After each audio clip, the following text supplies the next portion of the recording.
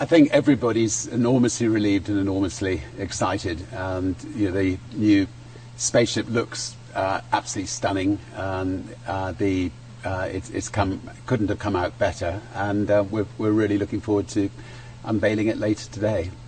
You know, when we when we had the accident, um, you know, for about 24 hours, we were wondering, you know, whether whether it was worth continuing, um, whether we should call it a day. Um, but we spoke with um, the hundreds of astronauts that had signed up with us. We spoke with um, all the engineers that were working on the project. We spoke with a lot of members of the public, um, and it was blatantly obvious to us that everybody wanted us to continue, and that space is too important um, to, not to continue with.